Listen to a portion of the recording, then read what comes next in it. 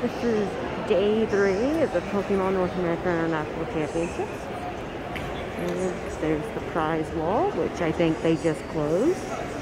And basically everything's over and people are just like, there's just people hanging out here watching the last of the VGC, I think.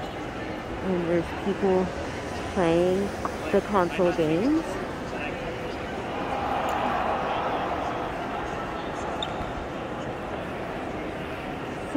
let's just walk around. Yeah. I love the big Pikachu and I like all the different bananas.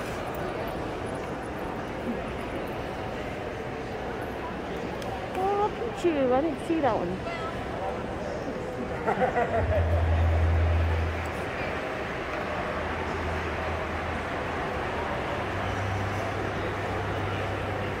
this is so cool. I love that flying Pikachu. Oh, there's a cute Charmander. And another Charmander.